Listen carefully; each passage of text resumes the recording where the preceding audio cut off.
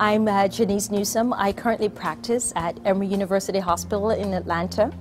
A huge jump from 15 years of private practice into academics. I consider myself one of the oldest but goodies uh, people in interventional radiology. I originally uh, did my fellowship at the Miami Vascular Institute years ago and went on to be in private practice for nearly 15 years. And I made that decision because I had a young child and I uh, wanted to be there a little bit more in, in raising her.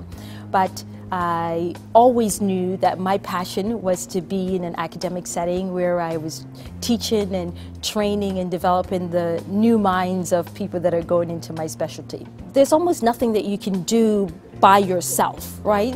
Uh, and yes, we talk about collaborating with other specialties, but one of the things that I love also about coming to SIR is it's this uh, collective uh, inquisitiveness, curiosity, it seems as if whenever you have a problem that you actually don't know how to solve or something that you're just curious about, that you can have like 50 people that say, oh my gosh, I'm also curious about that.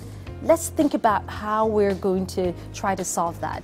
And, and that I love, and being able to partner with industry in the same space where you walk up to someone and say, you know what, this is a situation or this is a problem or this is a, an opportunity for you know making something better. And our industry leaders are right here who can say you know absolutely. Let me let me have you talk to this engineer. Let me have you talk to this person from marketing. And i mean that is not something that you can just find anywhere. But i could tell uh, medical students and young people that are really looking for authenticity. That if you go out and you spend some time with any interventional radiologist, choose an interventional radiologist, I'd say you'd find a group of people that really love their jobs.